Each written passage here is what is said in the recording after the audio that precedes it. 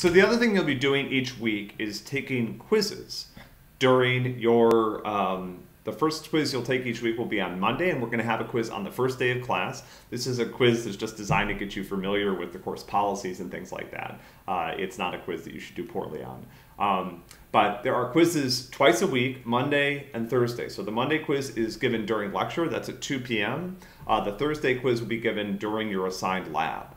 The quizzes will take in about an hour to complete, unless you have you know permission to take longer than that. But most of you should expect to take an hour to complete the quiz. They're actually timed for 50 minutes.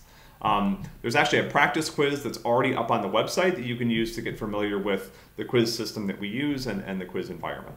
Uh, these are proctored quizzes. So normally what's going to happen is you are going to log in, um, you'll join us on a Zoom call, which we'll uh, provide more details about. And until you are in a proctoring environment that we feel comfortable with, we will not uh, open your quiz for you to begin.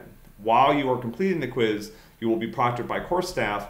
If you drop off of Zoom or something like that, we will, we will close your assessment so that you cannot continue to work on it. So while you're completing these assessments, um, we do expect to be able to monitor you. And we'll, we'll provide more details with how to set up your environment and things like that um, as, as the start date of the class approaches. So two quizzes a week, done again through the course website.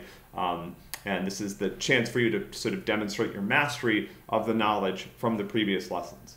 How do you do well in the quiz? Practice. Uh, you know, go through the lessons, make sure you've completed all the homework problems, maybe try the homework problems again uh, as another chance to just get a little bit more uh, chance to practice, maybe, you know, things like this. These are all good ways uh, to prepare yourself to succeed on the quiz.